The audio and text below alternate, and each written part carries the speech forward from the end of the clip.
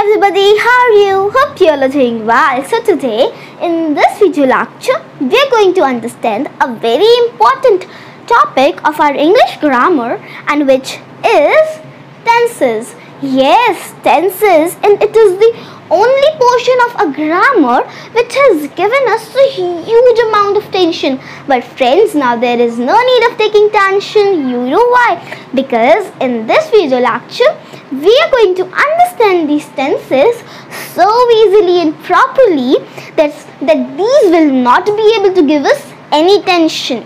So now let's see that what will be the agendas of ours through which we are going to understand these tenses so easily and properly.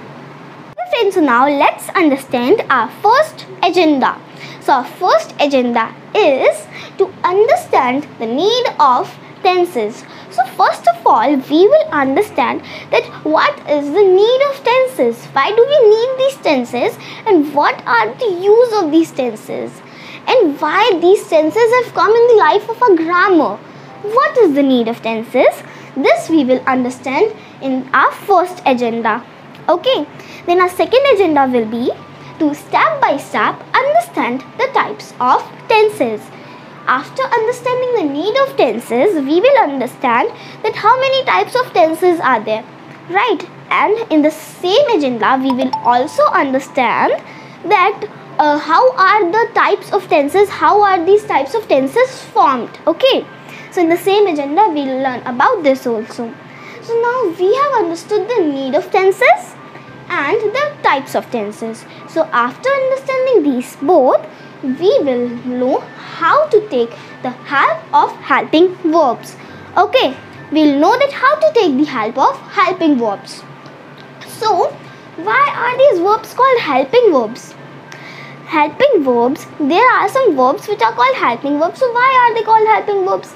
They are called helping verbs because they help us to complete our sentence, right? They help us to complete our sentence and they also tell us uh, or uh, make us understand something more about the action which is done in that sentence okay so this is the uh, use uh, this is why we use helping verbs so in this agenda through helping verbs we will understand something more about the tenses okay then our so now we have understood that what are tenses okay so now our next agenda will be to create the structure of each tense. Now we will create the structure of each tense. But friends, there are so many types of tenses, right? There's so many types of these tenses. So it's very difficult to keep the rules of these tenses in our mind, right? So what will we do? We will understand. We will understand these tenses. We will create the structure of each tense in our mind. Means um, we'll create the structure by ourselves only. We'll not learn the rules. We'll create the structure in our mind. And we will never forget it. Do you know why? Because we have not crammed these rules. We have understood these rules by ourselves. So we will never forget it. Okay so now our next agenda will be to master the tenses with the help of examples now when we have understood all these for, uh, for our better understanding, we will uh, take the help of the examples to understand the tenses more properly. So this will be our last agenda. Okay friends? Okay friends, so now let's start our video lecture with what are tenses. So friends, uh, what happens in our grammar is that it is asked that at what time is the work which we are doing is done. So this means that the work which we are doing is known as an action. Okay, and at the time in which that action is done is known as our time.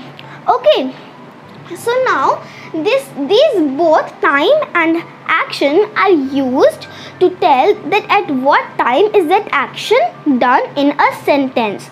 So by this we can understand that time and action both are very important parts of our sentence. Okay friends, so now you will be thinking that what is the role of tense in these both. So to indicate these both time and action, tenses have come in the life of our grammar. Why tenses have come in the life of a grammar? They have come to indicate the time and action. Okay friends? So now let's quickly revise all. So if you'll ask me about tenses in the definition, so I'll be telling you that tenses are used to denote time and action in a sentence. Okay? So this means, uh, we are revising it, so this means that the uh, work which we are doing is our action and at what time that work is done is our time. So time plus action is equals to tenses. Okay? So tenses are used to uh, indicate, to denote time and action. So now we have understood that time plus action is equals to tenses. Okay friends? Okay friends, so now as we have understood that what are tenses and we have also understood the two members, we have also known the two members of the tense and which are the time and the action. So now first of all, what do you understand by the time? So friends, a work can be done only in three times. The present time, the past time and the future time. So we have divided the time into three parts. Our first part is the present time. This means that the work is done in the present. The work is done now only. Okay. So this is our present time. The work is done now only. So this is our present time. Then the second part of our time is the past time. So this means that the work was already done. The work was done in the past. And past is also known as back then. Means the work was done in the past. The work was done back then in the past. So this is our past time. Then the third part of time is the future time. So in future time the work will be done in the future. The work will be done in the coming time. Right, so this is our future time. So like this we have understood the three parts of time which are the present time, the past time and the future time. So friends, the work which is done now is known as our present time. The work which was done in the was done back then in the past it is known as the past time. And the work which will be done in the coming time is known as our future time. So we have understood our first member of tense and which is the time. Time has three members. It has three parts the present time the past time and the future time. So i hope so that you have understood our first member of tense which is time. Okay friends, so now we have understood the uh, first member of our tense. Now we are moving to the second member of our tense and which is action. Friends, action has many parts. But first of all, what do you understand by this word action? What do you understand by action? So, the thing which we do, the thing which we do is called our action. What? The thing which we do is called our action. And friends, this action is also known as work, right? So in other words, we can say the work which we do is called our action. Okay friends? So now the types of action are the first type is simple or indefinite. So friends, what do you understand by simple or indefinite? So by seeing the name of this first uh, uh, part of action, indefinite, we can say that it uh, this means that there is a, there is no idea about the duration or the length of the time in simple or indefinite. There is no duration of, uh, there is no idea of the duration or the length of the work uh, of the action in this first part of our action which is simple or indefinite. Now our second part of action is continuous. So by seeing the name continuous, we can say that the work is continuously being done. It is step by step continuously being done.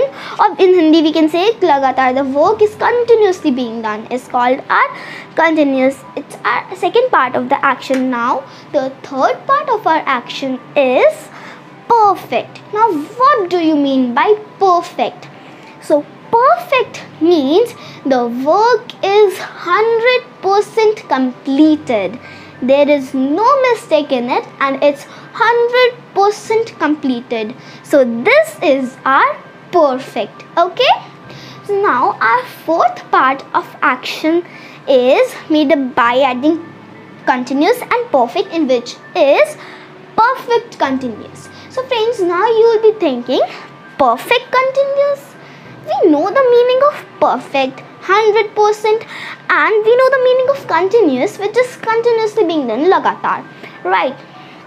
So 100% and continuously being done the work it can't be matched.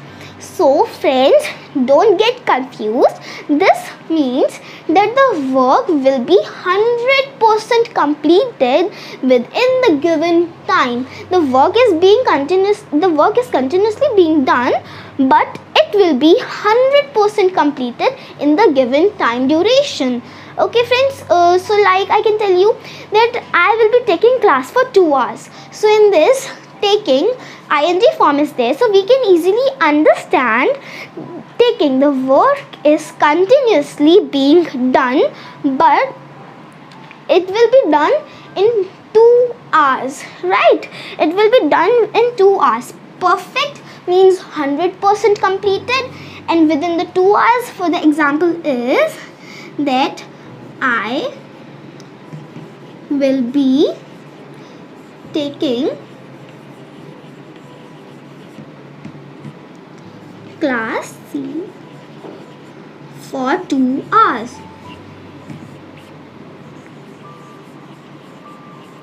So this is a sentence. I will be taking class for 2 hours, right? So here taking ing form is there, right? So it's continuous and for 2 hours the time limit is given. Work is continuously being done and it will be 100% completed within the 2 hours. So this is our perfect continuous and the fourth part of our action is done over here only. Okay. So now we have understood in our this video lecture that uh, we have understood the first agenda which was that what is the need of tenses right? We have understood what are tenses the two members of tenses which were the time and the action. We have understood that what what do we understand by time? What is time? We have understood the three parts of time which were present past and future after that, we have understood about our action, the four parts of action, simple or indefinite, continuous, perfect and perfect continuous. So friends, now by adding time and action, what do we get?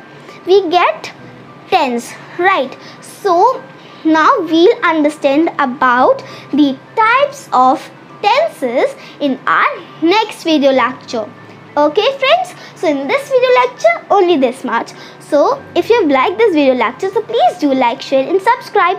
And yes friends if you have any doubt ask me in the comment section and i'm making you sure that i will answer each and every query of yours. Okay friends so till then bye bye